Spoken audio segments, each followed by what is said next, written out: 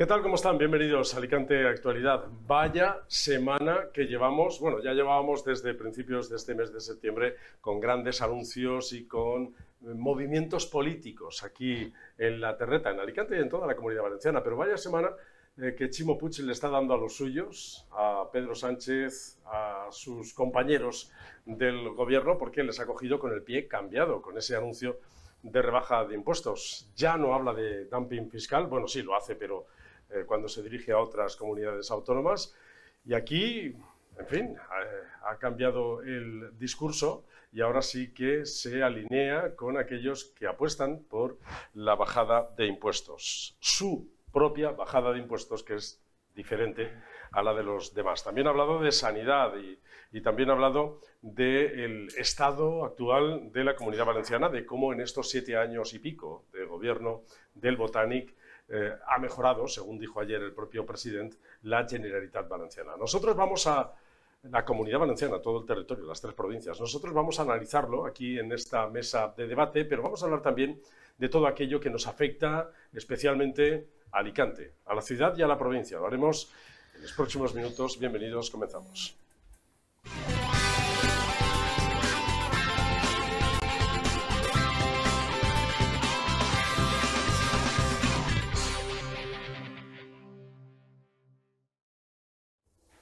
Y para hablar de esto tenemos a expertos en la vida cotidiana, en las cosas que pasan en el día a día. Aquí está con nosotros Cecilio Nieto, presidente de la Unión de Consumidores de la Comunidad Valenciana en Alicante. ¿Qué tal, Cecilio? Muy bien, encantado de estar otra vez con vosotros. Hay que mirar con lupa, ¿eh? a partir de ahora todo. todo... Nos intentan pillar por todas partes, Cecilio. Eh, sí, porque tenemos una picaresca cada vez más amplia en todos los ámbitos y nosotros tenemos la obligación de defendernos ante todo este tipo de, en fin, de situaciones que no nos favorecen. Mira que te digo, me generan más desconfianza las grandes empresas, los bancos, las grandes multinacionales, que el pequeño comercio. ¿eh? Hombre, el pequeño comercio es como nosotros, nada más que además tiene la responsabilidad de tener que sobrevivir con un negocio que no siempre está garantizado su supervivencia. La gran empresa eh, aquella que tiene, se caracteriza por tener muchos recursos y buenos recursos. Y entonces, pues. Mucha verborrea. Eh, ¿eh? mucha verborrea. mucha verborrea. Y muchas veces se constituyen no en monopolios, pero en oligopolios, que es casi lo mismo. y, y en principio pueden hacer con más facilidad lo que ellos eh, les conviene. y nos hacen pasar por, por, ese aro, por, ese el, aro. Por el aro. No se, no se fíen, ¿eh? ¿eh? Es verdad que lo estábamos hablando antes de empezar el programa. A todos los que estamos en esta mesa hemos tenido una experiencia amarga en los últimos meses o las últimas semanas con algunos de estos macro servicios y, y es que ya no nos podemos fiar. Para eso están las asociaciones de consumidores como la Unión de Consumidores de la Comunidad Valenciana en Alicante, que lleva a Cecilio Nieto. Gracias por venir, Cecilio. Faltaría más. Y a este otro lado está Jorge Brugos. ¿Qué tal, Jorge? ¿Cómo estás? Muy bien, ¿y tú, Andrés? La vida política también está muy movida. Sí. El otro día tú, para contrarrestar o poner el contrapeso a, a lo que de todo el mundo habla, publicaste en Alicante Plaza tu columna de opinión donde decías, Mónica Oltra todavía es inocente. ¿no? Es inocente, sí, ¿no? O sea, porque veo a gente, ¿no? Sobre todo en Twitter, ya sabemos cómo es esa jungla, pues diciendo pues que ya ha cometido el delito. Al final eso hace mucho daño a la separación de poderes. Al final esa mujer, pues bueno, la justicia dirá lo que ha hecho, pero tenemos que callarnos mientras tanto. ¿no? Todavía no he visto a ningún político decir hay que ser prudentes. ¿no? Yo ya estaba viendo y lo que planteaba... Bueno, a veces algunos sí que lo han dicho, ¿eh? Y Claro. sobre todo aquellos que han visto de cerca esa falta de presunción de inocencia. Que ha Ujú. pasado, no, no, no, no es de ahora. Sí, sí, sí. ¿eh? Esto viene ya desde hace mucho Totalmente. tiempo. Y bueno, disfrutemos o, o, eh, vivamos esa separación de poderes mientras exista, Jorge. Sí, sí, sí. Algunos se la quieren cargar. A este lado está Lisardo Gavarre. Willy, ¿qué tal? ¿Cómo estás? Buenas tardes. Gracias y bienvenido Gracias a al programa. Eh, eh, activista social, político, estás ahí también en todos los, los saraos que tienen que ver con eh, intentar mejorar la vida de los vecinos Con Alicante. con Alicante. Te tengo que agradecer, eh, Willy, que el trabajo que habéis hecho tú y, y- y tus, y tus compañeros, tus amigos, tus vecinos durante la pandemia, que estuvisteis ahí proporcionando alimentos eh, y, artículos de primera necesidad a muchas personas. Gracias. Oye, ¿y cómo va el... Hablaremos, después de- del barrio Miguel Hernández, que he pasado por ahí antes de venir y digo, voy a, voy a ver cómo está, Eh, y todavía están ahí los esqueletos. sigue, sigue siendo el barrio fantasma de, de la ciudad de Alicante, Mm. literalmente. Y los vecinos cabreados porque algunos los han llevado a la otra parte de la ciudad. Sí, eh, hay gente que tiene derecho a cabrearse y hay gente que no. O sea, seamos claros. Yo soy muy claro y hay gente que sí se le puede permitir el derecho de enfadarse, de estar molesto, pero hay otra gente que no. Luego me lo cuentas. Y aquí a este lado está Diego Ferrandiz, eh, que eh, exdirector de Onda Cero Radio, con esa voz que le caracteriza también. En Alicante estuvo durante El, muchos el años. verano ya pasó. ¿Qué tal? ¿Cómo estás, Diego? Muy bien, encantado de volver a veros. El verano pasó y empieza la carrera política. Esto lo has vivido muchas veces, Diego, Sí, en tu, en tu sí, carrera. sí, sí, sí, sí. periodística. A- a- a- eh, lo de los 15 días de la campaña es casi una anécdota. Nada, eso es Porque luego eh, o sea, se está en campaña, yo diría que los seis meses antes. Y ahora que las municipales y las autonómicas serán para mayo, está como calentando motores. En cuanto pase Navidad, no va a haber otra cosa más que política, más que elecciones. Y... Bueno, yo, yo todavía no he visto relajado el, el debate político en estos cuatro años, de- Sí, sí. ¿no? Y por lo menos desde Tú que... fíjate que ya han empezado las promesas Claro. y no, ham- y no hemos llegado a Navidad. Pues Estamos sí, a, a nueve meses de las elecciones. ha empezado. Y, y los codazos. Sí, bueno. Han empezado las promesas y los codazos casi a la vez. Supongo que vamos a hablar de lo de Chimo Puig, pero tiene 20 análisis diferentes. Pues vamos a hacerlo, porque para ponerles a ustedes también en antecedentes, fíjense lo que dijo ayer en el debate sobre el estado de la Comunidad Valenciana el molt honorable presidente Ximo Puig. Y hoy les anuncio tres medidas fiscales de calado. La primera medida aumenta en un 10% la cuantía exenta de tributación a todos los ciudadanos, aunque aquellos que superen los 60.000 euros de ingresos mantendrán su esfuerzo fiscal en el conjunto de la reforma. La segunda medida es una nueva tarifa autonómica del IRPF para este ejercicio, nuevos tramos adaptados a la situación actual. La tercera medida amplía todas las deducciones y bonificaciones fiscales y amplía también el número de beneficiarios. Todas las deducciones aumentan un 10%. Algunos ejemplos son la deducción fiscal por hijo, la deducción por arrendamiento de vivienda, la deducción por familia numerosa o monoparental, la deducción por conciliación de trabajo con la vida familiar o la deducción por gastos de guardería o colegio en hijos menores de dos años.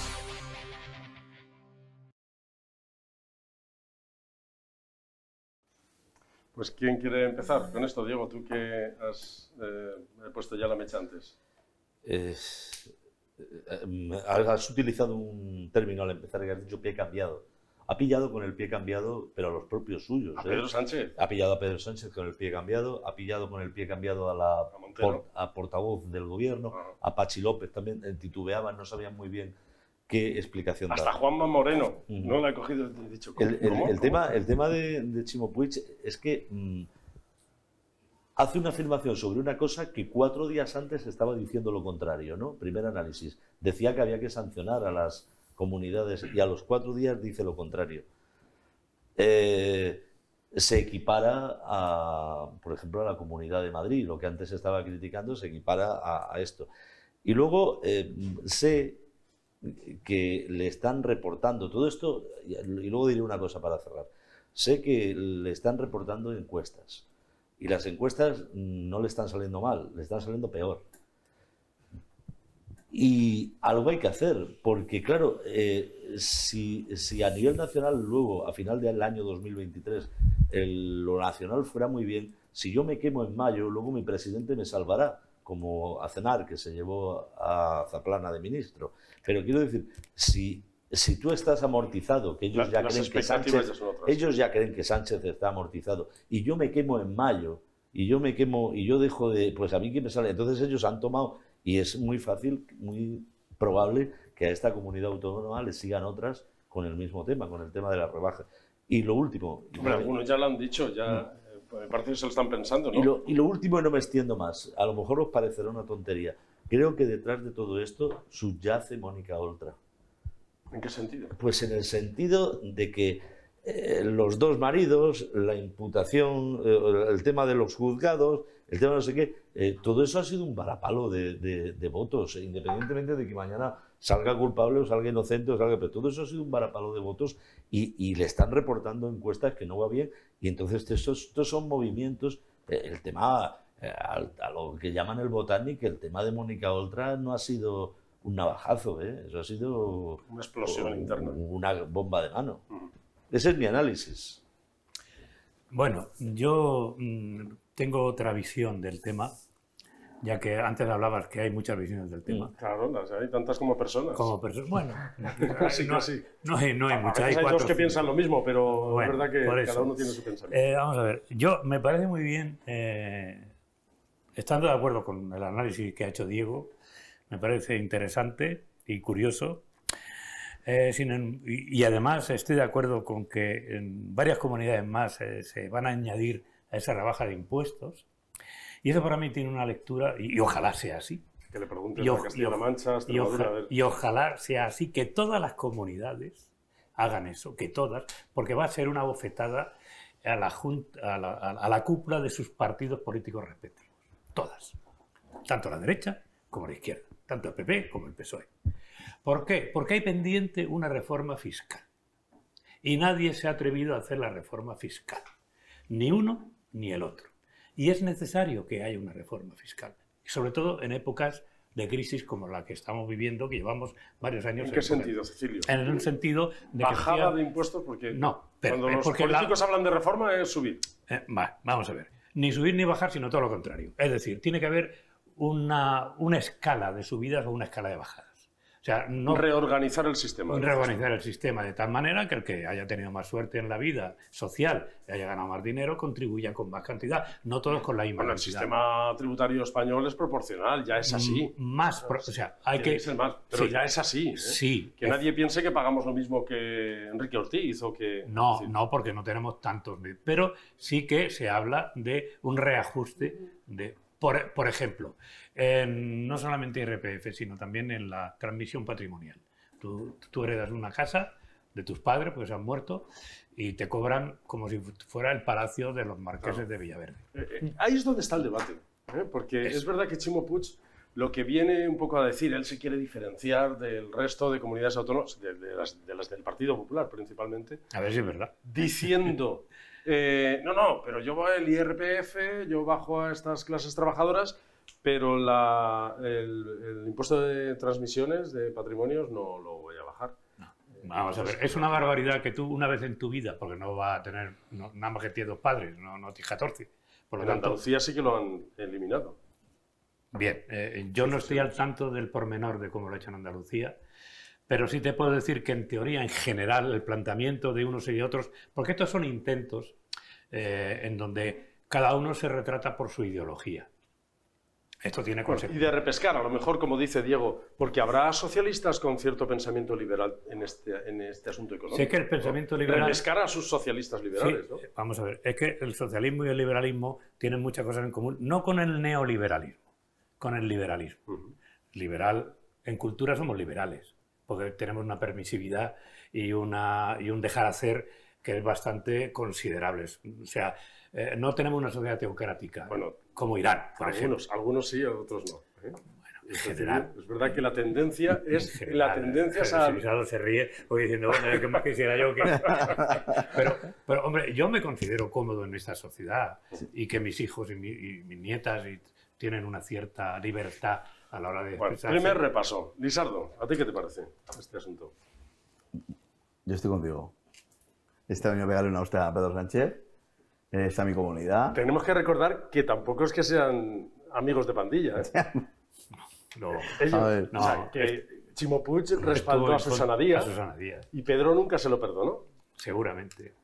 Lo admitió al final como mal, Bueno, mal menor, Porque lo tiene ahí como balón de la comunidad valenciana. como mal necesario. El otro día en un medio nacional decían, hombre, como Chimo Puig es de la cuerda de Pedro Sánchez, digo, qué, qué, qué atrevida es la ignorancia, más cuando se habla desde fuera, ¿no? Ya. A ver, yo creo que ha habido un cambio eh, entre Chimo Puig y Pedro Sánchez. O sea, ahora sí que, de hecho, esto lo decía también Carlos Alsina, ¿no? De que eran prácticamente de la misma cuerda.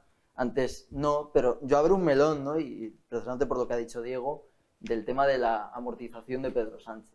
Eh, voy a ser un poco conspiranoico, pero yo creo que se están posicionando algunos varones para unas primarias contra Pedro Sánchez. García Paje. García Paje. Para quemar, para quemar la falla antes de tiempo. Sí, sí, sí. Ah, y además sí. es que la, la estrategia de Chimo Puig al final lo que hace es quemar precisamente la estrategia de Sánchez en el sentido de, vamos a ver, la izquierda quiere ganar las elecciones otra vez con el relato de nosotros somos los que nos preocupamos de la clase media, cuando paradójicamente no quieren bajar el IVA de los alimentos, pero la gente se lo traga, ¿no? Y aquí está el PP, que es el que quiere apoyar a los poderosos. ¿no? Ahora Entonces- están eh, abriendo ese debate de los Claro. pobres y ricos, ¿no? Los Claro. ricos y los pobres. Entonces, eh, Chimo Puig lo que hace con esto es cargarse ese relato. ¿no? Y además lo curioso, yo creo que los políticos, y lo pido desde aquí, creo que deberían de ser claros. Estaba escuchando mientras venía a Arcadia España eh, el consejero de Hacienda de Chimo Puig y decía... Buena persona es, ¿eh? Arcadi es muy buena persona. Sí, ¿no? y exponía las cosas muy bien y tal, pero caía un poco en la incoherencia con lo que dice el gobierno, ¿no? porque el gobierno dice que es que si no subes los impuestos, eh, por ejemplo el IRPF, que es lo que ha bajado Chimo Puig, pues lo que provoca es que no se puedan cubrir los gastos de los servicios. Claro, llega Arcadia España y te dice que no, que, que se puede sostener el sistema sin, bajar los, eh, sin subir los impuestos. Entonces, es una paradoja, que sean claros y que no nos tomen el pelo, ¿no? porque al final Pero creo que hay una falta de sintonía. Ninguno dice cómo. Vamos a ver, porque el, el- el- el dinero son habas contadas. Tú tienes una cantidad de dinero y lo tienes que distribuir. Eso está en los presupuestos, la distribución. Y de ese dinero, si te sales, viene la inflación. Y no queremos inflación.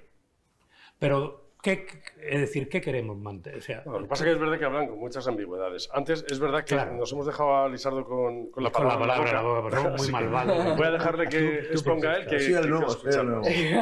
tú protestas. No, vamos a ver. Yo veo que claramente Chimo Puig se posiciona para el 2023 y da igual lo que diga Pedro Sánchez. Y él lo que quiere es sumar votos porque, como ha dicho el compañero, eh, tiene, una, tiene una totalmente bajada de votos impresionante porque, lo decir desde aquí, de este plato, a Chimo, Chimo, Alicante lo han bajado.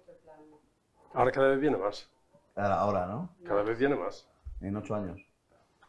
Entonces, eh, con Chimo Puig, eh, lo que se ha desmarcado ya de la cúpula nacional, diciendo, Pedro, te quedan dos días, presento yo ya mi candidatura, vamos, vamos, libremente, así que vamos a... Pues fijaros lo juego". que me imagino que habéis escuchado a María Jesús Montero, la ministra de Hacienda, lanzarle este mensaje a Puig. En este momento es muy importante que seamos capaces de poner un debate sosegado respecto a, a cómo se tiene que comportar la fiscalidad en nuestro país.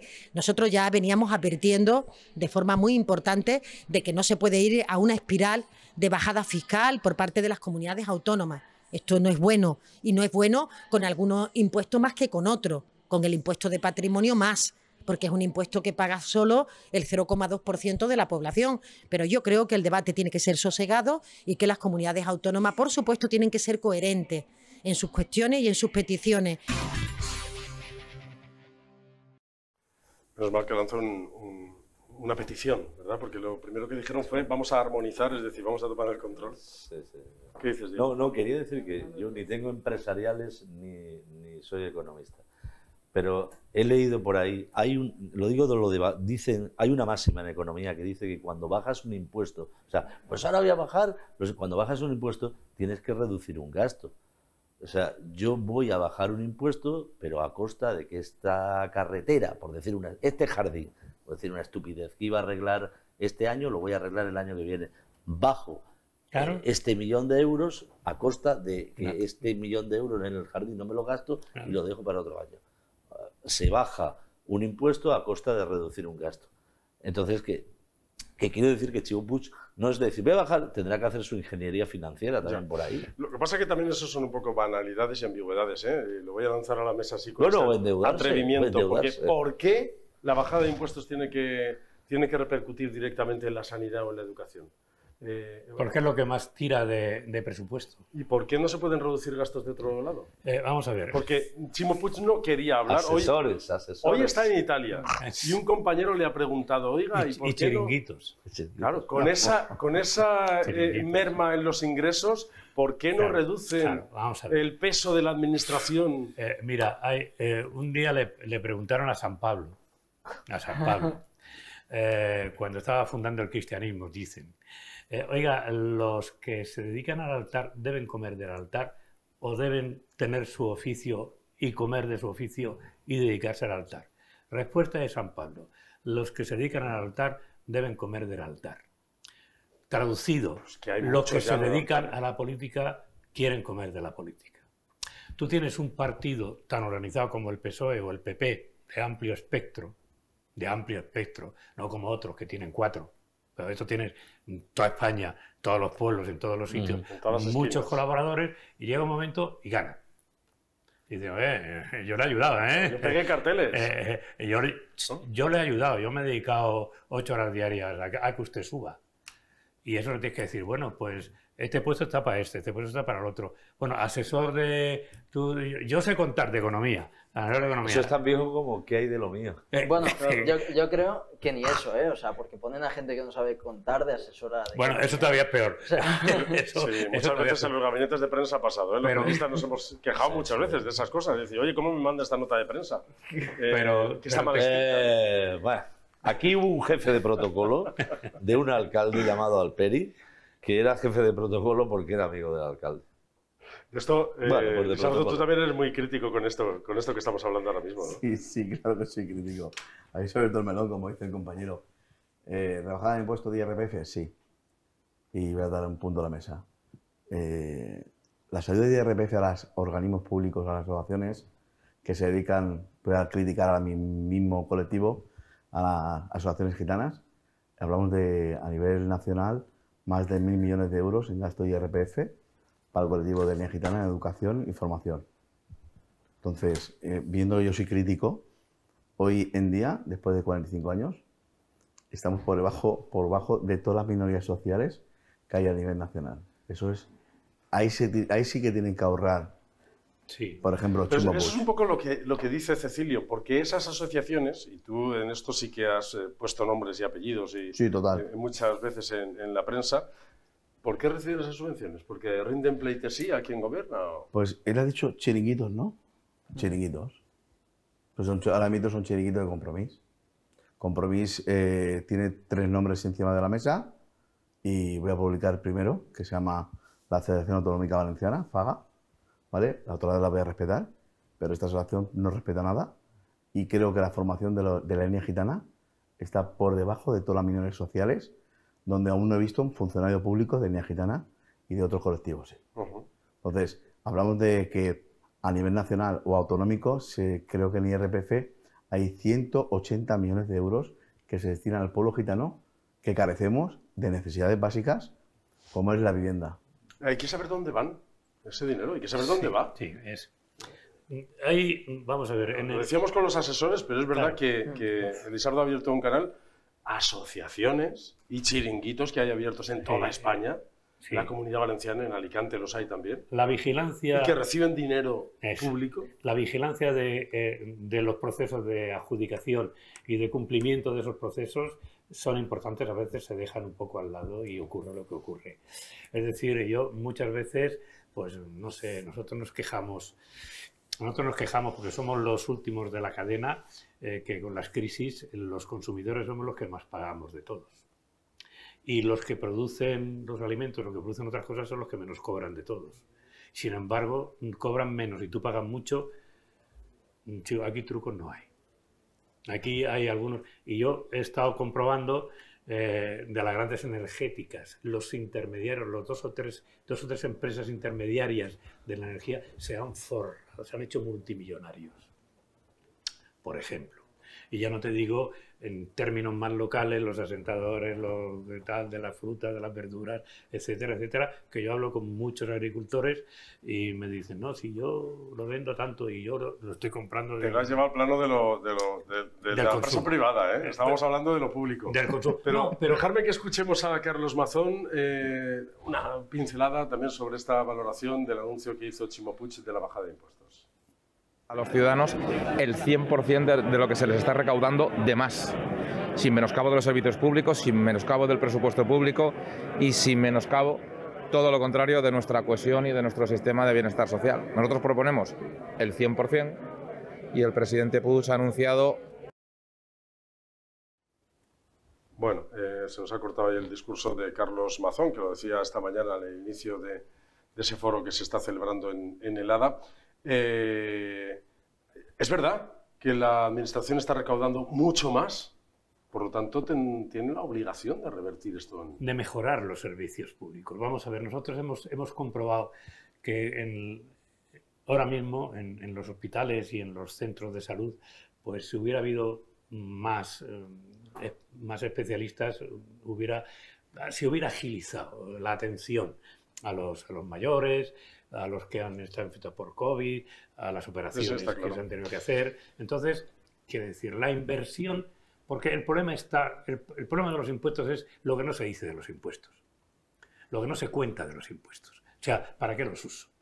Y, y si nosotros hemos apostado desde hace años por un estado de bienestar, es decir, que entre todos pagamos unos, una- unos servicios públicos, como puede ser educación, como puede ser sanidad, puede ser viajes, como puede ser, en fin, todo esto, pues ejércitos y policía y muchas cosas, quiere decir que realmente si se mejora, Claro, claro. Lo que pasa que es verdad que al final el dinero de los impuestos va a la caja común y lo que hay que mejorar es el modo de gestionarlos.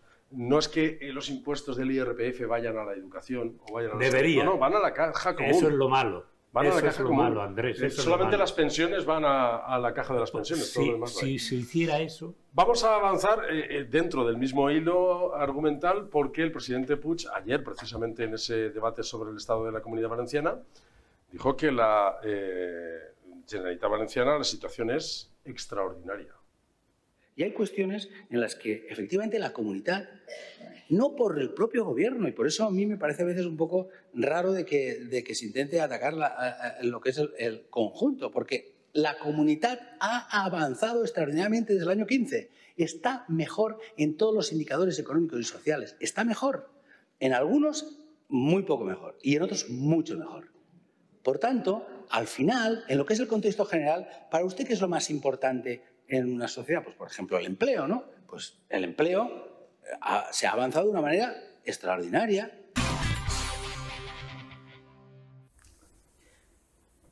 Eh, a ver, yo, creo que lo que. No, sé si es verdad lo que ha dicho Chimo Puig, eh, a nivel sanidad creo que es un desastre, pero eh, sí que es verdad que vivimos un ambiente político un poco contaminado. ¿Qué quiero decir? Cuando Chimo Puig baja impuestos, pues ya la oposición y a por él. ¿no?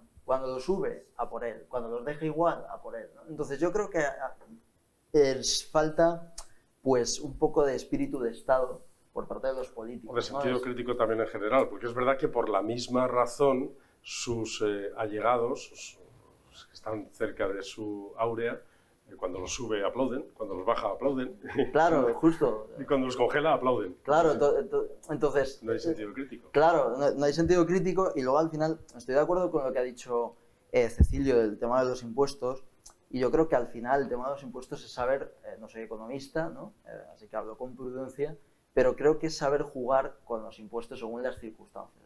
Es decir, poco se habla y estamos muy tranquilos, gracias a Dios estamos en Alicante y aquí no hace mucho frío durante el invierno, ¿no? quitando algún día puntual. Pero me gustaría saber la situación que vamos a vivir, gracias a Dios, en España menos que en otros países, pues en sitios como el, el norte, en Castilla y León, Galicia, pues con la crisis energética que hay. ¿no? Entonces yo creo que ahí es donde se tendría, a nivel, hablo a nivel estatal sobre todo, la bajada de impuestos. ¿no? Es decir, ¿qué pasa con los impuestos, por ejemplo? Bueno, de- aquí para otras cosas. Claro, claro. Si Ah. no utilizamos eh, la calefacción, pues otras cosas utilizaremos. ¿no? Claro, no, no, pero... que- Sí, pero que- sí que es verdad que esa recaudación de más, que es un poco lo que venía a decir Carlos Mazón antes, esa recaudación de más que por la inflación el gobierno, todos los gobiernos, eh, están recibiendo, pues eh, la deben de repercutir en, en los vecinos. eh, a través de ayudas, a través de Está programas entrando- de impulso. Está entrando de- más dinero por IVA que nunca. Claro. Y, por todo tipo de... Y sobre todo porque hay, vamos, yo un día eh, con Mónica Oltra tuve una, una agarrada. Eh, por, vamos, bien. Y no para bailar. Eh, no, no, no, no, no, eh, era eh, las, las ayudas públicas del banco de IVF en vez de que se llama. Eh, si tú le pides un préstamo como, como empresa o asociación al, al Estado o a la Generalitat, te lo dan. Pues, mire usted, yo necesito 5.000 euros, 10.000 o 20.000, toma. Pero ¿cuánto me cobra usted? Me cobra mucho menos un banco que la, que la Generalitat, que la IBV. Y yo le dije, ¿esto qué ayuda es? Digo, es que no te pega, tú no eres de izquierda, es que no te pega. O sea, tú tienes que ayudar a las empresas y más las que no tenemos ánimo de lucro, pues puedes decir, oiga, es que usted se lo quiere ir al Caribe luego a pasearse por allí, a bañarse. No, no, mire usted, que yo para pagar nóminas. Quiere decir, y, y estoy oficiado y necesito que es un servicio público recogido por ley, no es, no es privado, es recogido por ley, por lo tanto mm, mm, solicito la ayuda correspondiente un adelanto, es decir, luego se lo voy a devolver. Oiga, pero no, no puede usted cobrar un tanto por ciento más elevado que tiene la caja de ahorro de ahí. Decíamos antes que estamos ya en, en el inicio de una carrera apasionante para el periodismo. Lo es apasionante para el periodismo, pero es verdad que estresante para muchos otros sectores, entre ellos el propio sector político, ¿no? donde van a tener que eh, dedicar mucho tiempo a hacer campañas sin parar, como esta que estamos hablando ahora, que su parte electoralista sin duda también la tiene. Así que os voy a pedir que hagáis vuestras apuestas porque se empiezan a poner encima de la mesa los nombres. En, en Alicante, en Compromís, ya está Rafa Más que por iniciativa quiere optar a, a, ser alcalde, pero Nacho Bellido también quiere continuar, Ana Barceló por el PSOE, María José Azuar, eh, el Partido Popular ya lo tiene claro en Alicante con Luis Barcala, ya veremos qué pasa con Ciudadanos y también veremos qué pasa con Vox. Y no sé si habrá alguien más. ¿Cómo lo veis? Ciudadanos es un misterio. Ciudadanos no sabemos si conseguirá solucionar, solventar la situación de la... A la chica de Ciudadanos, si no... Yo creo que Ciudadanos termina la... Maricarmen Sánchez, la vicealcaldesa. Sí, eh, veo que no saca ni un concejal y luego Barcala la hace asesora. ¿Luego o antes? No, yo creo que Mari Y Carmen... de eso saben más que nosotros. ¿eh? Bueno, no, hombre. Eh, Mari Carmen Sánchez, eh, hay que decir una cosa. Mari Carmen Sánchez se va a pasar directamente al PP, creo. ¿eh? O sea, Pues mira, por ahí... O sea, sí, Estamos contigo, sí. estamos contigo. Sí, por ahí ¿Preguntaba va- antes o Yo estoy contigo. Está, tan, está tan identificada, ¿Con el PP? tan... ¿Verdad? eh, sí, o sea, no, y, y hablo- Otra cosa es que a Barcala le haga falta. Y- y la esto- ponga en la lista. Es igual, es igual. ya- no, vamos a ver, yo creo que Mari Carmen... le la tiene que ubicar. ¿Que la pongan en puestos de salida, dices tú? No, que la pongan en algún puesto. No. Como asesora, como lo que Yo, sea. creo- eh, efectivamente, yo creo que, Si es que le debe- no va a ir, pero en un eh, de asesor. Ah, es, es- es que ha sido una colaboradora muy cómoda. Claro. No ha sido una china en el zapato. Claro. Eh, y no ha sido una china en el zapato. Entonces, la, Sí, una salida le que Tú lo dices por aquello de amor con dicho, amor vale. se paga. Sí, sí, amor sí, sí. amor te duele. Pero es cuestión de partido, no es cuestión de personas. Es decir, que esto ha sido, diríamos, la, la cruz de Ciudadanos. No se ha sabido diferenciar del PP. Entonces, si tú te, si tú te asemejas a En, un- en Orihuela sí.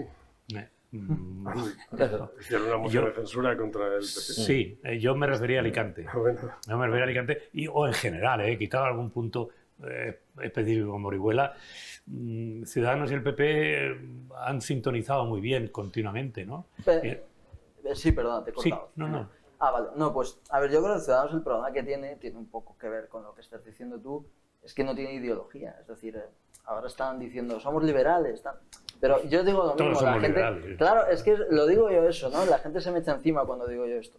O sea, yo cuando empecé en política y tenía poca idea, pues decía que era liberal. Es que es una cosa muy ambigua, ¿qué es ser liberal? ¿no? moderna, Entonces, en aquel momento era moderno. era moderno, ¿no? Era como lo decía Girauta. ¿Cómo veis ¿no? a, vamos a ir analizando por ahí eh, algunos. ¿Cómo veis a Compromís? Rafa Más, Nacho Bellido, ¿cómo los veis? O también se... Yo mm, no lo sé, yo compromiso más allá de Valencia no creo que tiene la fuerza, Aquí en Alicante eh, tiene, Eh, tiene fuelle, ¿no? Músculo ha ido aguantando. no mucho. Y ahora Yo no lo veo, probablemente con- con la desintegración, que esto no quiero que se me interprete mal, pero probablemente Podemos sí que se vaya a desintegrar. Dicen que van a ir juntos, he leído. No. Sí, dicen, No creo. dicen, dicen No. que juntos. Quiere Podemos. Bueno, Si- quiere Si se quieren salvar, quiere si se Podemos. quiere Eso es salvar- como si Ciudadanos dijera que quiere ir junto con el PP. Eh, PP está en la onda de subir, no, no va a aceptar PP. Y que- Compromís está en el momento de fagotizar o hacerse con el electorado de Podemos. No creo que se deje llevar por... No lo sé, no lo sé, porque, vamos a ver, eh, uno de los, de los elementos discutibles de, de Compromís es eh, su vena excesivamente valencianista. Eh, ahí va yo. Y un apunte, y ya Sí, ¿no? El tema Mónica Oltra y los maridos y las primos y los cuñados y la víctima también se va a pagar en Alicante. ¿En las Va a municipales? pasar factura. ¿En las municipales? En las fa- municipales Sí, y en sí, las sí, autonómicas. sí, sí, sí. sí, sí. Aquí hubo un gran alcalde eh, socialista, que era Ángel Luna, para mí un gran alcalde, que no repitió de alcalde porque coincidió a nivel nacional el boom de la corrupción de Felipe González. Y entonces eh, el PP puso aquí a Díaz Alperi como si hubiera puesto una escoba. Hu- Hubiera ganado igual, ¿me explico? Mm. Hubiera y sin embargo, Ángel Luna era un gran alcalde, un tío con la cabeza y muy bien amueblada. Y, y- y- y- y le arrastró lo otro. Quiero decir que, que esas cosas sí pasan factura. ¿eh? Actual síndic de Greuges. Por eso Chimo, Sí. por eso Chimo ha cogido su, su carretera. Acogió su carretera, la cogió, no me gusta la expresión orinar fuera del tiesto, pero orinó fuera del tiesto García Paje, no sé cuánto, y era por lo que yo decía que decía, si tú, vamos a, vamos a intentar salvarnos Claro, nosotros, pero si tú nosotros nos vas a tener que Diferenciarnos, ¿no? Digamos que la estrategia de diferenciarse De para Está. Extremadura, está Lambar en Aragón, está Chimo Puig, eh, me queda algún socialista, por, está Asturias. Veremos cómo lo que va Sí. saliendo por Y ahí. luego, entre todos, dirán, vamos a elegir a un nuevo presidente del Partido Socialista. Sí, siempre, el- siempre. Oye, y en Alicante, eh, Ana Barceló, María José Atsuar, ¿cómo lo veis? Pues el, justo eh, lo que ha dicho él, el programa, el otro día escuchaba eh, pues unas intervenciones de María José Absuar y yo si fuese Ana Barceló no sé si piensa igual, la mayoría, la mayoría de socialistas desgraciadamente siempre se dice que son primero socialistas y luego españoles o alicantinos o lo que sea. ¿no? Y escuchaba a María José y decía, yo es que me debo a la ciudad y al partido. ¿no? A mí me hace mucha gracia esa visión. ¿no? no, tú te debes a la ciudad. El partido es un medio. Eso es un problema que tiene la gente del PSOE, que es que eh, van al PSOE a muerte, ¿no? Entonces no sé quién va a ser mejor. Yo, si fuese socialista, apostaría por Ana Barceló, sobre todo por esas declaraciones, porque a mí una política dice eso y digo, esta persona, en cuanto se ve a lo mejor en peligro Yo- el yo- partido... Bueno, pero eso Quiero- lo hacen un poco todos. Quiero poner una cosa encima de la mesa. Eh, el salir durante la pandemia tres horas diarias por la tele, por la mañana y por la tarde y no sé qué, eh, eh, y la gestión que hizo de la pandemia, a esta mujer la benefició o la perjudicó. No, Cada no, uno tendrá su ¿eh? valoración personal. ¿Salió... ¿Qué, Lo que- qué bien ha gestionado esta mujer la pandemia o mira la tía esta Lo que aquí pasa es que me da la sensación de que lo planteas como si, oye, ¿qué ponemos? ¿A un personaje famoso para salir de alcalde Yo- o a una persona que conozca la ciudad y los problemas de la ciudad? Yo, yo creo que este es un problema de, de poder interno de los partidos. Sin Eh, duda, sin ¿quién, duda. quién, quién manda? Eh, ¿Chimo Puig o Franco? Ángel. Es decir, Ángel Franco. A, ver, van a tomar algo. Algunos habían frustrado. Es decir, eh, pongo, pongo los míos, o, o bien Soler, por lo que dice, no, no, aquí eh, se vota lo que nosotros elijamos, independientemente del tándem Franco-Chimo. Entonces, quiere decir que es un tema de poder, porque ya sabemos que Soler salió como una opción diferente al poder establecido en el Partido Socialista. Entonces, ellos han querido hacerse ver, manifestarse, nombrando a una persona que, bajo la tapa de las primarias, se enfrenta a la decisión que ha tomado Chimo Puig, que ya ha tomado alguna otra y le ha salido rana, como ha pasado con, con Sanguín. Aquí la pregunta es, y se la voy a hacer a Willy, porque eh, como tú sí que te mueves por los colectivos sociales y los barrios y eh, eh, Miguel Hernández, que es tu centro de operaciones, pero luego vas a otros muchos sitios, eh, Ana Barceló eh, controlará bien esos lugares, sabrá de los problemas de... Si no lo saben, se lo tienen que contar. Gente que esté en la calle del día a día. Yo pregunto, ¿Un alcalde tiene que conocer esas cosas? por supuesto. Debe, debe. Pero yo hago la misma pregunta. ¿Nuestro alcalde baja a los barrios? El mío no. Está a bien, mi, está a bien mi barrio, a mi barrio aún no ha bajado. Bajó hace ocho años para hacer una campaña política que se sentó dentro del jardín de la, entidad social y no ha vuelto a venir. Eh, el otro día escuché el- una convocatoria que hubo con Ana Barceló, me gustó cómo habló. Dijo, si yo soy candidata del PSOE y si saliera de alcaldesa, sería alcaldesa de todos los alicantinos. A mí en pre-campaña me gustan todos como hablan. Sí. Luego la actuación... Es el momento ideal. para que te quedes Tendríamos tranquilo. que vivir siempre Eh, en para que te quedes campaña. tranquilo. Yo vivo a caballo entre, por circunstancias de negocio y de vivienda. Yo vivo a caballo entre Campo Amor y Carolinas Altas y, a- y, a- y tampoco va por allí, ¿sabes? Tampoco, ¿no? Barcala, digo, que te estés tranquilo, vamos, que... tranquilo, no pasa nada. Eh, Bueno, ¿vais a hablar de Sonia Castedo?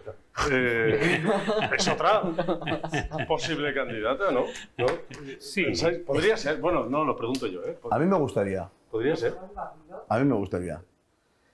Mm, Eh, eh, eh, y también me puedo presentar yo. Quiero decir, ¿cuánto cuesta? pre- No, no, no, no, voy por. Presentarse no es algo. O sea, tienes que tener un respaldo. Crear un partido a lo mejor es ir al registro, a su delegación y hacer un papel. Pero eh, mítines, eh, cobertura, jefatura de prensa. eh, bueno, la fama y la, ¿quién digamos, la, percepción, la es que es muy bonito ser del. PP tiene. o ser del PSOE. Digo que ser del PP o ser del PSOE es muy bonito. Este me pone de candidato. Pero un partido independiente o tienes ahí detrás un Tito Ortiz que te Bueno. digo yo. Eh, Diego, hoy en día, precisamente esta mañana hablaba con una persona, hoy en día con las redes sociales, tú puedes ganar las elecciones, por ejemplo, teniendo 500.000 euros contra uno que tenga 7 millones de... O sea, Sí. han cambiado mucho los tiempos, ¿no? O Lo sea, hice, tú lo hice subes por vídeos- Trump. Trump Claro, le pasó Trump, eso. En el, el del Salvador lo mismo, Bukele Claro, sí. ganó las elecciones Sí, con un presupuesto, pues, Bueno, pero Donald Trump estamos hablando de una fortuna. Que digo que por bien que moviera las redes sociales, pero gastó 500.000 dólares, ¿eh? O sea, gastó muy poco para su campaña, eso es lo que dicen, ¿eh? O sea, no lo sé Bueno, así a bote blanco, pronto. negro. es lo que dicen, es lo que dicen. Eso es lo que dicen. blanco y Sonia, negro. eh. y Sonia Castedo juega con la ventaja de que juega en casa, ¿no? De que mucha gente la conoce, de que ahora, digamos, ha pasado su etapa oscura. Eh, eh, eh, sí, pero mira, con lo mismo que te decía en otro sentido con ah, Barceló, con la señora esta. ¿Cómo, sale, cómo está Sonia Castedo a, a nivel de, de qué piensa la gente sobre, qué- decir, del tema de que, que la declararon inocente? Pero ¿cómo, cómo salió? ¿Está tocada? ¿No está tocada? ¿Está bollante? ¿No está bollante? Eh, si la ven por la calle dicen, mira Sonia Castedo, la que con Ortiz, pero la declararon inocente ella. Porque No. yo, yo me he cruzado con Camps en Santa Fe y oí decir a uno, devuelve los trajes, chorizo. Y canta bien el inocente, ¿eh? Can- que cantan bien También es inocente, También Porque inocente. está el juicio social que es diferente al El- juicio el- penal. el- sí, claro. sí. No- sé, no- ¿qué, qué os parece? Esto que está diciendo Diego. Sonia en Alicante cuenta con la se popularidad y se simpatía. ella, ella por un partido independiente o ella por el PP. No, no, No, no, independiente, Con el. PP no creo. Independiente. Por- es que ahí está la clave. No, hombre, claro, sí, es muy... Sí, Eh, que- Yo mi apuesta sería la llave del Ayuntamiento de Alicante. las llaves. Yo creo que sí. Na- Si, si saliera y obtuviera, que lo dijimos aquí un día, dos o tres, dos o tres puede ser el taca. Claro. Tendría la llave del Y Ayuntamiento. le quitaría a Vox, sin duda, le quitaría votos a Vox, ¿no? Sin duda. Porque ella iría a los barrios. Eh, Sonia Castedo sí quería ir a, a- Ha ido a todos los barrios. Miguel Hernández. Sí. Y yo soy el contrario de Sonia Castedo. Le iba a la marcha. Le iba a la Le marcha. iba a la marcha y visitaba todos los barrios. Eh, eh, eh, es, es una política a pie de calle. Pero Más, lo fue en su momento. Ciudadanos, ha habido una fuga extrema a Vox, ¿eh? Sí. Sí, Sí, O sea, sí, sí. no han ido a parar al PP, que se creen que en, en las playas van a ir al PP. No. Ciudadanos se está yendo mucha gente a Vox. Porque ya han pasado por el PP, no van a volver al PP, ahora van a Vox. Hay muchísimas Pues eh, para aclarar la situación, el otro día estuvo Sonia Castedo en el programa eh, Más de Uno con Luz Sigüenza y en Onda Cero y dijo esto.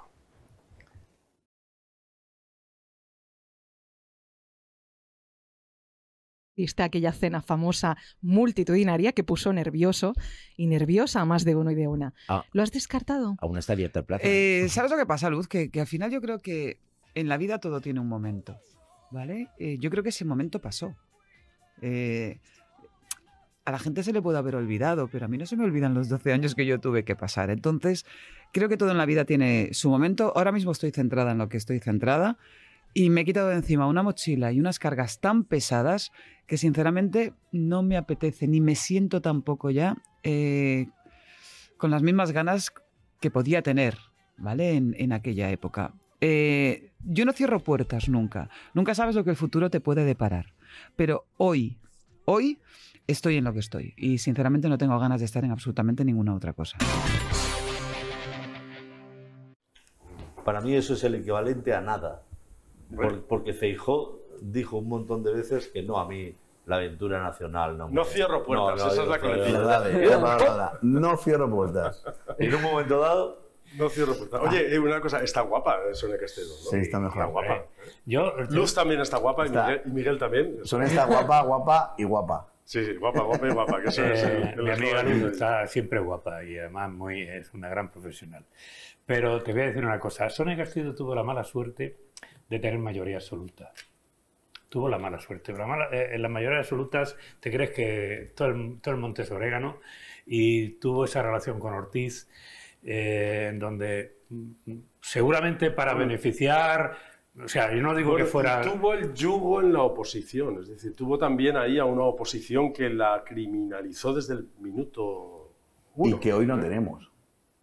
No, hoy es muy. Hoy no muy tenemos. Rafa Mas es un poco más subversivo, Sí, ¿no? Rafa Mas parece que es un sí, poco más... suave. Pero comparado con el, se me ha olvidado el nombre, con el señor aquel.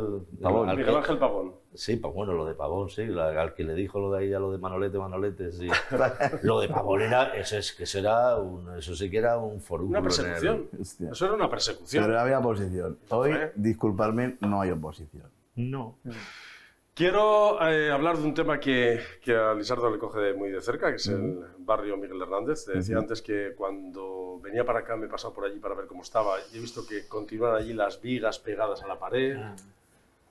Que no sé si habéis ido, pasado por Miguel Hernández. sí, sí. Mí Yo me te digo Miguel Hernández, pero me cuesta, ¿eh? tengo que pensarlo porque es el Sí, barrio es el barrio José Antonio. Antonio, toda la vida. A mí me gusta escuchar la opinión de ellos, de mi barrio, de nuestro barrio, y luego yo puedo, si me permitís, puedo contestar. ¿Habéis Puedo pasado por contestar. Miguel Hernández? ¿Habéis Sí. visto el Sí, esqueleto no, que hay allí? sí, bueno, a- no, al, al- al margen de eso, mi opinión es que pasé cuando las obras no. Yo no sabía que eso se iba a rehabilitar, se iban a hacer las obras.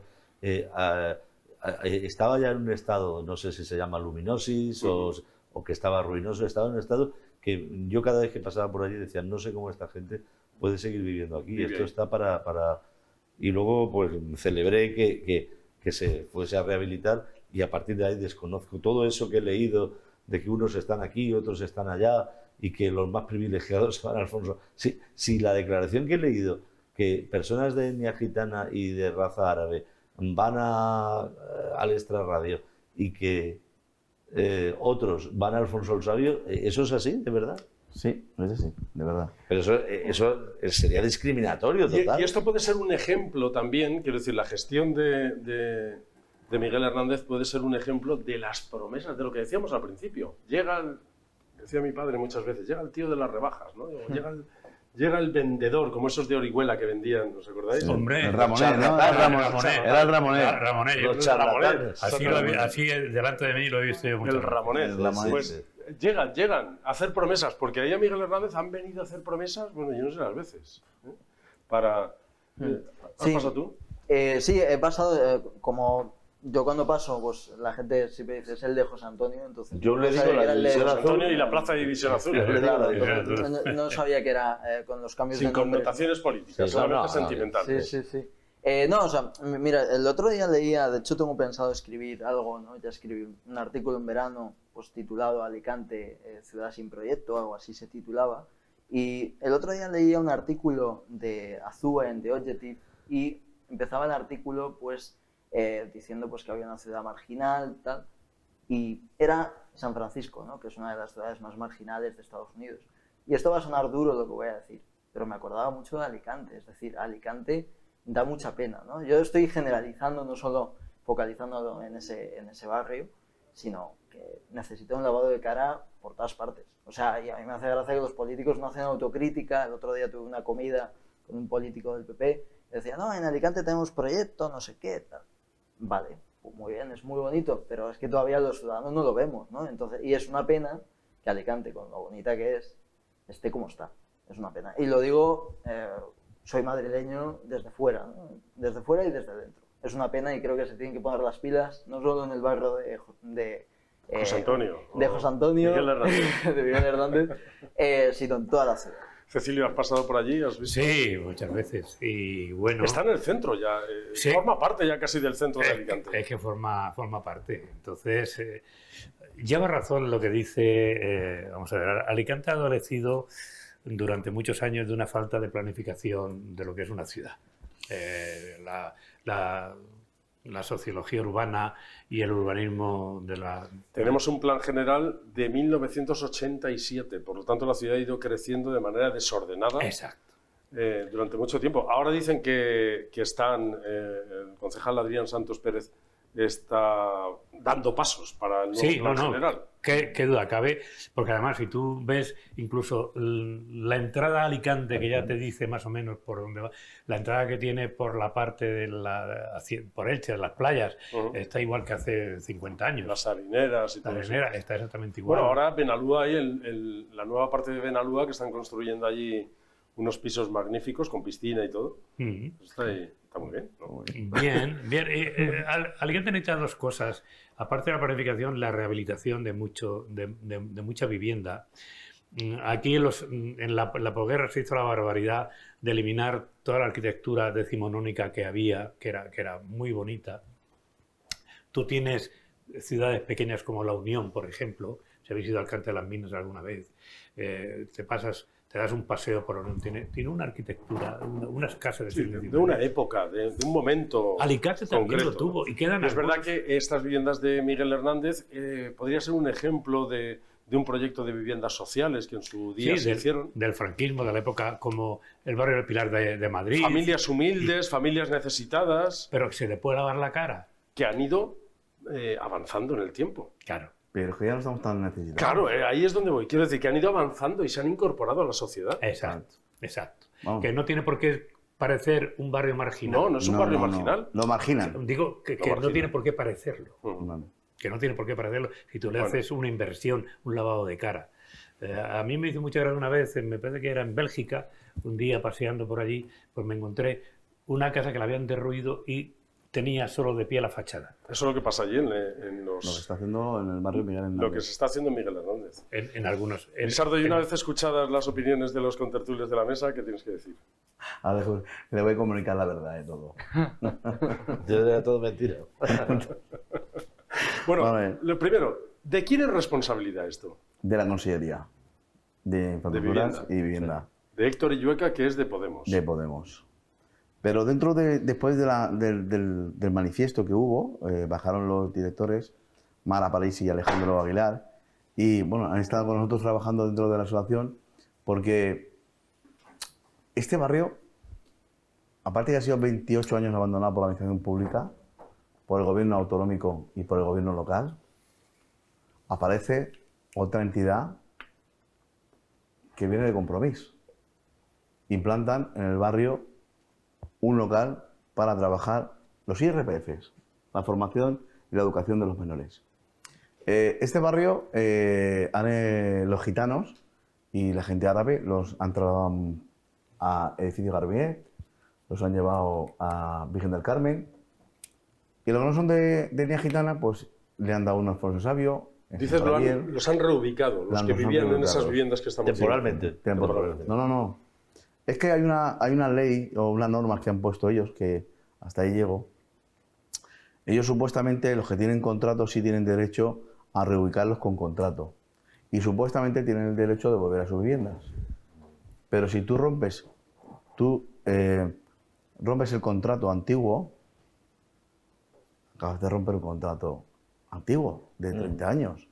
Entonces, tú al hacer un contrato nuevo de una vivienda, estás firmando un contrato nuevo, por lo cual no tienes posibilidad de volver a, a tu, antigua- a tu rehabilitación. Sube mucho. Sube mucho. Entonces, no le van a dar la oportunidad a ningún vecino que, que lo han reubicado a volver a su vivienda. ¿Qué van a hacer con esas viviendas? Pues esa es para la gente nueva que pueda, eh, creo que, que la tasa de alquiler en esa vivienda van a ver, están de 250 a 400 euros de alquiler. Una pregunta, cuando dices los han reubicado en Alfonso el Sabio, ¿en Alfonso el Sabio dónde?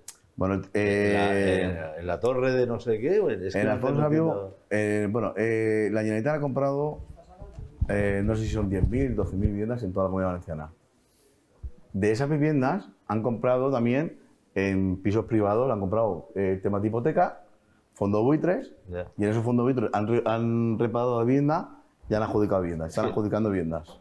Ahora, eh, tú vives en un bloque estupendo y le dan a una familia incívica un piso en tu bloque.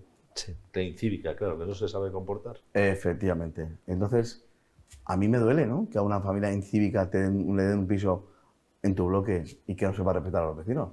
Y que de repente me voy a, me voy a poner, por ejemplo yo, que me lleve al burro y el gallo. Y a las 4 de la mañana canta el gallo. ¿Qué, qué? Y tú, ¿pero esto qué es? Que yo he pagado 200.000 euros por el piso. Sí, claro, claro. ¿Eso Vamos está pasando? Eso está pero, pasando. pero, pero las viviendas, es que soy un profano en la materia, no las viviendas que compra la Generalitat es- pueden ser incluso en, Alfo- en un barrio como Supo- Alfonso el Sabio para... Por supuesto. Eh, eh, no, es que iba a hacer un Probablemente chiste... con la crisis Iba- de la iba- sí, pandemia y claro, las habrá de todo. haya Yo- habido... no es que iba a hacer un chiste- Ten en cuenta que la Generalitat se, se No, atribuye, no. se atribuye el derecho de tanteo y retracto, ¿no? Sí, Eh, sí. Para, para pujar por Ah, Andrés, que no quiero frivolizar, pero que diga, en Alfonso el Sabio, En Alfonso Sabio. que me reubiquen a mí, ¿no? Diría, pues mira, Claro. que a mí que si me bajan de Campo Amor al lado del Mercado Central... eh, ¿Te, te quieres reír? Claro, a esta sí. vecina, que no es una vecina gitana, me dice, ¿y qué hago yo en Alfonso Sabio? Claro. Si yo vivo aquí toda la vida, en el barrio Pero no tiene, no tiene nada que ver, y esto eh, lo dirás tú antes que yo, que no tiene que ver que sea de etnia gitana o sea de cualquier etnia, no tiene nada que Pero ver. ¿quién ha decidido mandar a que que gitanos es- y árabes a un sitio? Es verdad que hay otros que no e- Vamos a ver. equilibrar el... Es que esto es duro. Hay una, una- unos- una serie de trabajadores en una empresa pública privada y ellos son los que deciden a quién se llevan a un lado o se llevan a otro.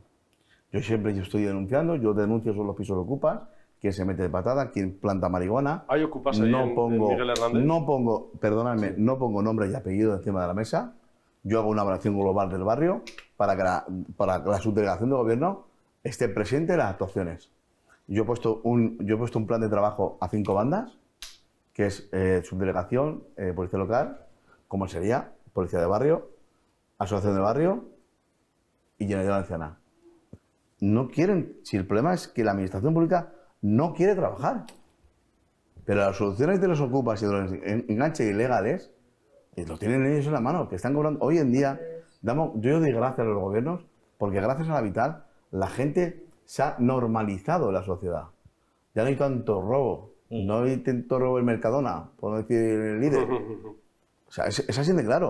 O sea, eh, por eso hablábamos de las IRPF. La IRPF, que hay un racismo por el tema de las paguitas, sin hacer, el que no haga nada, que lo enganchen y lo pongan a un curso a formarse. Sí, a veces, muchas "Mira, veces se habla con mucha frivolidad sobre Es esto. que- Es verdad que hay familias que necesitan una ayuda. Yo lo sufro en para mi salir carnes, adelante. ¿eh? Yo lo sufro, día tras día. Es que la mitad... para- Vamos a ver, quitar las subvenciones a las etnias gitanas y dárselo al, al sector social. O sea, ¿por qué tienes que pagarlo con las familias que tienen? Ayer estuve también en el discurso de Vox apoyando a un compañero, escuchándolo. Y se lo dije a un, a un militante de Vox. Vamos a quitar, matar a los ocupas. Vamos a quitarle la luz. Digo, pues no ves que si yo soy padre y no puedo pagar la luz, la voy a enganchar porque la nevera se descongela los productos que hay dentro y mis hijos tienen que comer. Hay que buscar la solución a eso. Búscale la solución. O sea, eh, si hay ocupa es porque el sistema lo hace. ¿Puedo hacer otra pregunta? Eh, eh, ¿Es legal que la Consellería compre un piso en Alfonso el Sabio, o en la Florida o en Benalúa y en un edificio, mm, eh, voy a utilizar la palabra estable o convencional, eh, pueda meter a un realojado? ¿Eso es legal? Sí, es legal, claro. Sí, es porque legal. el piso es suyo. Es posible que sea legal, lo que es absurdo. Vamos a ver. Total. Claro. Porque él habla- Peligroso, Li- Lizardo lo acaba de decir. ¿no? Bueno, y si, si luego la, la familia se adapta, estupendo. Vale, maravilloso. Vale, no hay problema. Pero en principio estupendo. lo acaba de decir que la, la señora, ¿qué hago yo en Alfonso el Sabio? Es decir, eh, todo, toda persona intenta, donde vive mejor es con su grupo, con su grupo social, ev- evidentemente. Tú te vas a buscar un piso, no te vas a buscar un piso. Si tienes capacidad económica, no te lo vas a buscar en esta radio donde hay chabolas. Te vas a buscar un piso donde la gente está más o menos a un nivel, donde tiene una cultura, donde tiene... Es decir, tú Donde vas comparten también tu manera de ver la vida. Exacto. Y cada uno tiene su manera de ver la vida y, son, y existen los grupos sociales, grupos sociales diferentes. Y somos una sociedad diferente, somos una sociedad distinta, y unos han tenido más éxito, otros han tenido menos éxito, unos han tenido más formación, otros menos formación. Nadie critica, nadie juzga eso, simplemente constatas que eso existe. Y, como decían antes, cada oveja con su pareja, es decir, cada persona con su grupo social, que es donde se siente a gusto. Todo esto lo que denota entonces, me da la sensación, es una falta de sensibilidad. Exacto. Y, de, conocimiento. Y de bajar a la tierra a ver las cosas. Y que de se- que, que una empresa se desde un dedique- despacho no se pueden arreglar estas cosas. Exacto. No. Pero Mira, yo me voy a ofrecer al Ayuntamiento de Alicante a ser gerente de patrimonio de, de vivienda porque Eh, pasa lo mismo en Alicante, ¿eh? con el patrimonio. Cuando yo le pido un informe al ayuntamiento diciéndole cuántos ocupos tienes en Juego 23 y me dice que ninguno. Cuando tengo conocimiento que tienen más de- Hombre. ya con- a, a- a breve Nosotros hay lo sabemos ocupa. porque hemos estado allí con las cámaras Hombre, haciendo un reportaje. dice que no te ocupa. Sí. El problema es que en Juego 23 hay un fondo buitre que ha comprado todas las viviendas. Ah, sí. Sí. No lo sabía yo. Bueno, esto es notición, ¿vale? Pero esto es real. Un fondo buitre compra casi toda la vivienda que hay en 43 y de aquí a 10 años van todos fuera. No me digas. Todo bien. Bueno, yo trabajo, bueno, yo trabajo, yo ayudo, colaboro con, eh, con Ricardo Arangüena, que es de la empresa, este no me sale el nombre en inglés, es un antiocupa y trabaja con los fondos buitres. Y de hecho, desde Andalucía, yo tengo trabajando, eh, Regain Your Home se llama la empresa, eh, han comprado la gran mayoría de viviendas para rehabilitarlas. Pues ya veremos cómo lo porque gestionan hay todo un eso. fondo ruso que lo ha pagado. Ya veremos cómo ya. lo gestionan. Ya, ya veremos. Eh, ya esto veremos. tiene para un reportaje, lo dejo, Sí, lo dejo sí. ahí también para la directora de la televisión, por si en un momento dado eh, le cogemos Lizardo y nos vamos Sí. allá a hacer un reportaje de, de todo esto y hablamos con las personas afectadas y, y hacemos todo eso. Quería ponerlo encima de la mesa porque es verdad que es un problema que está enquistado en la ciudad de Alicante desde hace ya muchos años, que forma parte de esas constantes promesas electorales que hacen, como decíamos al principio del programa, los políticos cuando llegan y seguramente que ahora, en los próximos meses, va- van a ir allí al, claro. al barrio. Seguro que van a ir Seguro. al barrio a deciros que eso se va a solucionar rápidamente y a desatascar o a firmar allí algún, eh, algún decreto o algo así. El problema que quiero que esto coste en acta, eh, se hizo un contrato hace 18 meses, un precontrato de vivienda para regularizar todos, a todos los vecinos que estaban de ocupa ilegales durante 15 años. 15 años de ocupa, ¿eh? Y lo que pide la gente en el barrio Miguel Hernández es que le hagan el contrato para poder pagar la luz y el agua. Pero, a ver, yo creo que es que eh, yo soy... yo Quiero, te- quiero- quiero terminar, ¿eh? Ay, sí, vamos, perdón, vamos rápido. No, no, pregunta, pregunta. Ah, vale, no, que, eh, a ver, eh, yo creo que la ocupación al final es entrar a una casa que no es tuya eh, y creo que es una cosa que hay que condenar. Hay ¿vale? muchos motivos. Un momento. un Es momento. verdad, Está- hay muchos está motivos. La vivienda privada y la vivienda pública. O sea, yo si hablo de la privada, yo estoy a favor, vamos, de, de ser radical. El que se meta en una vivienda privada, donde yo he pagado con el sudor en mi frente, vamos, 24 horas fuera. Porque estoy pagando con el sudor, con mi sacrificio, con mis ahorros. Pero cuando hablas de una vivienda pública, que tú eres el, el conseller y abandonas durante 15 años un, un patrimonio de Vale. vivienda pública donde 25 años no has hecho ni una, ¿qué quieres? Sí, sí, no, ahí te entiendo. ahí te Es verdad que es un, eh, eh, es un elemento necesario, son herramientas las viviendas públicas necesarias para reflotar a muchas familias Sí, sí, sí. sí. y sacarlas adelante. Sí, Y hombre, lo que tiene que ser es que esas familias que viven ahí lo que tengan es un deseo de regularizar su situación, Claro, de claro. prosperar, como hemos dicho aquí en la mesa varias veces, de encontrar un trabajo mejor, de prosperar y de poder pagar el alquiler, la luz y estas cosas. claro. Es verdad que luego hay ejemplos que... Que, que rompen- matan. Bueno, digo discriminación pura y dura. A la línea gitana nos mata que hayan gitanos que empiecen a ocupar viviendas y alquilarlas. Yo Claro. estoy el primero en denunciarlo. Pero sí que es verdad que, eh, sobre todo una cosa que ha dicho Cecilio, que yo creo que es peligrosa, o sea, ¿no? Hay muchos guetos, eso es un peligro. Es decir, en Barcelona, por ejemplo, ya hay zonas que recuerdan, ya se vio el otro día en el partido en Cornellá, que recuerdan a Santení. Eso es un problema y eso tiene un componente de inmigración. Y aquí en menor escala también se ha ido constituyendo. En Juan 23, en Virgen del Remedio Eh, también. El, pro- el problema de todo esto radica. Colonial Vamos de a qué? ver. El problema es que ¿no? hay activistas gitanos en toda España que dé la cara por, por una etnia que a lo mejor que nosotros tenemos que dar más en España, estamos, queremos, tenemos que dar más. Eh, cuando tú creas un gueto, ese gueto se te revuelve en contra de los votos, a la siguiente legislatura, tú quieres reventar ese barrio y lo Claro. quieres fraccionar. Claro. Cuando los, cuando los barrios de gueto se unan a votar a un partido que verdaderamente lo defienda, acordaros que ese, ese barrio va en destrucción. Bueno, está pasando en Suecia. No tengo tiempo Sí, para más. Es verdad que eh, eh, a veces, y visto así, es un poco sacar aquella lectura de donde la política mete las manos, eh, parece que lo remueve todo y, y a veces eh, pues lo, lo, mm, Lo estropea. estropea. Estaba buscando la palabra. Eh, pero en fin, es una conclusión. Esperemos que, que no sea así. Vamos a confiar también en los políticos que ahora están, de estos que hemos hablado, que ahora están eh, poniéndose en la parrilla de salida para posicionarse y para intentar representarnos en la próxima legislatura. Hablaremos de más asuntos en el próximo programa. Muchas gracias, Jorge Brugos, por haber venido. Gracias. Eh, muchas gracias también a Cecilio, gracias eh, a Lisardo, Diego y a todos los que eh, han visto este programa hoy y han estado ahí pendientes de, de lo que hemos puesto encima de la mesa. Esperemos que les sirva también a partir de ahora como elementos de debate, de tertulia, allá donde vayan. Gracias por su atención y hasta el próximo programa.